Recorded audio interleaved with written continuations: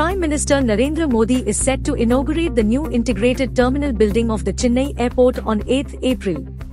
The new integrated terminal building at Chennai Airport, spanning an area of 2,20,972 square meters, is set to cater to the growing air traffic in the state of Tamil Nadu.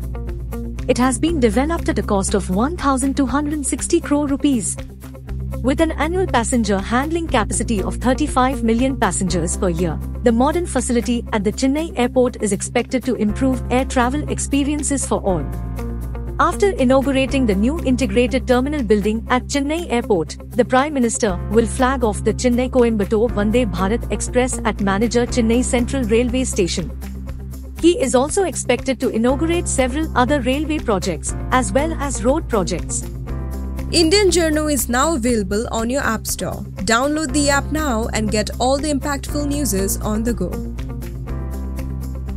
Subscribe Indian Journo to stay updated with the latest news.